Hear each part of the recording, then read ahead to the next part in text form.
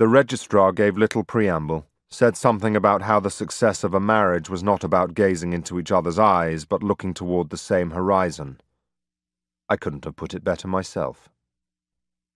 My bride was a Klimt painting made flesh in her sequined gold shift, her hair a soft dark hood. She'd even swapped her cheap gypsy hoops for smaller circles of tasteful hammered brass.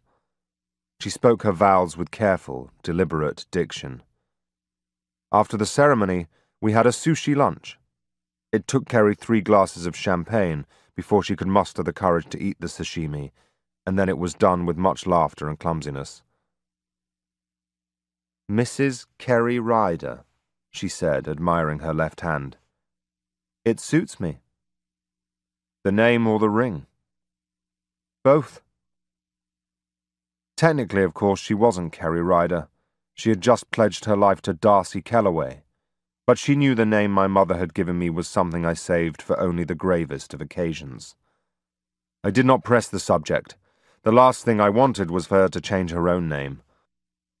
When the time came for her to move in on Felix, there must be no outward signs of our connection.